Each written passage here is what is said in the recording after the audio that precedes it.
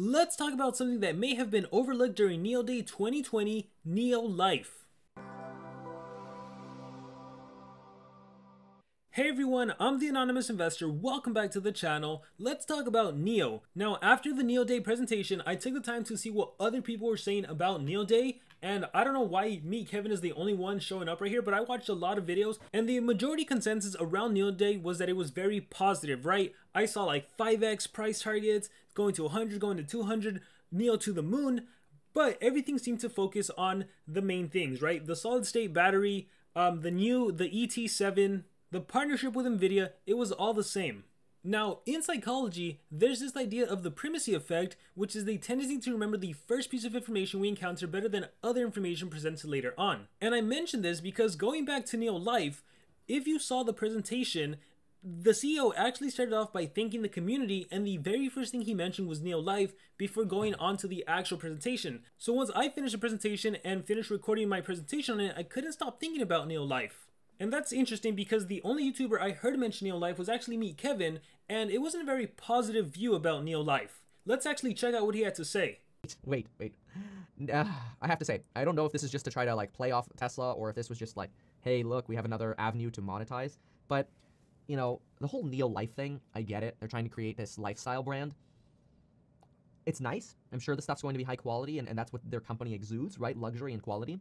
Uh, I I don't know if it really had a, if it really belonged in the NIO Day presentation. I mean, I suppose it does. But it just seems like, you know, you walk into the Toyota car dealership and they have like the, the Toyota shirts and stuff that you can buy. It seems a little bit more like not not something that really belonged in how big today should have been for NIO. And overall, let me just tell you, I actually like that Meet Kevin had a negative outlook on NIO Day overall. He actually made a follow-up video addressing his negative outlook, which I totally agree with. Not not to say that I agree with his opinions, but I agree that it is such a good idea to be hypercritical of the investments that you're invested in because that's where you have your money at. So I think some sometimes it happens like we want things to go right, we want things to go positive, and we fall into this sort of confirmation bias where we only hear the good things. And I think that's happening. Well, that's happened a lot with so many stocks this year. It's happening with Tesla. It happened with NIO. It's like it's only like things are ever going to the moon.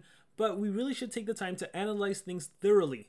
With that said, I want to talk about NIO Life, but I also want to talk about the psychology behind NIO, or at least what I noticed from the fact that the CEO started off by thanking the whole community. So before the actual presentation itself, three short movies actually played and I barely just got around seeing them and it definitely provided context to the beginning of the actual presentation. The last short movie talks about an inn that is now fully booked thanks essentially to NIO users. So one thing that was mentioned was that NIO users have actively participated in public service. During the COVID outbreak, 2,476 users together with NIO User Trust donated what is the equivalent of over 1.2 million of aid funds and supplies to Wuhan. And in 2020, over 12,000 NIO users participated in over 500 philanthropic activities involving COVID, which consisted against protecting the environment and taking care of the vulnerable. Also in 2020, 2,552 users joined the NIO User Volunteers and then the CEO emphasizes that they took their own free time to volunteer, specifically in showrooms, delivery centers, auto shows, and other events, in order to help more people get to know smart EVs and to learn more about NIO. So the whole premise and the whole context I'm trying to lay down is just the fact that the, the way this starts off, going back to the primacy effect, the CEO specifically focus on not the company itself, but instead the community, the NIO community, the user base, and then it leads to this NIO life and from my perspective, what I'm seeing, it's not just like, here's some merch, go buy it. What I'm seeing is that NIO is essentially trying to create this whole community around NIO and make NIO more than just a car company. Just like how Tesla is not just a car company, it is so much more. It is disruptive technology. NIO is trying to become a lifestyle. So that's where the clothing comes in. That's where the whole community centered comes in. That's where the three films at the beginning come in. So this is interesting because when, when I think of the when I think of the companies that have really made an impact in people's lives, these are these are essentially companies that have really just embraced and became part of the culture. You know, you think of Apple, where anything Apple does, it's it's like an instant success. It's an instant hit. It's almost like you have a cult following, right?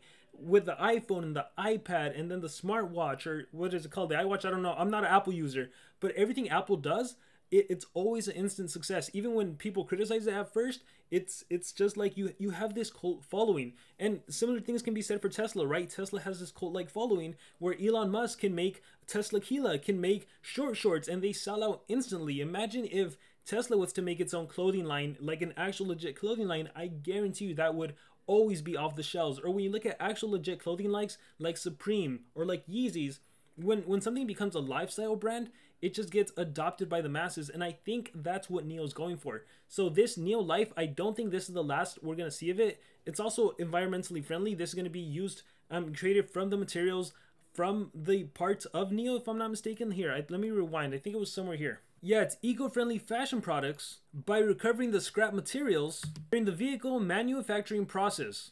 So I definitely think people shouldn't be underestimating NIO Life and essentially what the impact of a cult following can do. I mean, I, I even just think of like sports in general, right? You have your people that are into, man, I'm not into sports, but like you have your people that are diehard, they bleed a specific sports like 49ers, Raiders, or basketball Lakers. You, you know, you're diehard to this no matter what, and you just embody every piece of it. And I think that's what NIO's going for.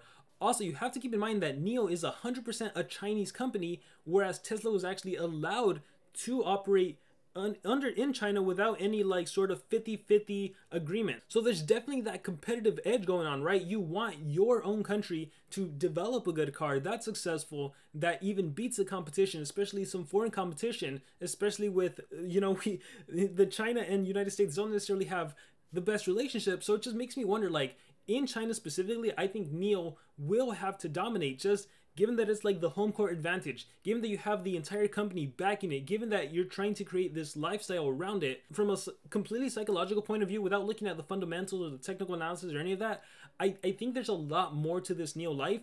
And I think maybe that's why it was put at the front of the presentation, followed by the three stories um, involving the community. Again, it was very community centered, which is something that I picked up on only after watching other people's videos and how they only talked about the solid state battery again and the shots that Tesla, that NIO took at Tesla and all that. I, th- I think we have a lot more to see from NIO Life, but maybe I could be completely wrong. Maybe I could be just be reading into things, but I don't know. What do you guys think? Let me know in the comments below. Do you guys think there's anything more to this NIO Life, or do you think that that, that was just an aside and we should completely forget about it and instead we should focus on the company itself, the car itself? Or is there more to it? Is this NIO Life, are they going for this global domination, making it a lifestyle brand where it is known everywhere? Any thoughts? Let me know in the comments below. I am super curious to hear you guys' thoughts. Thank you all for taking the time to watch this video. I really appreciate it.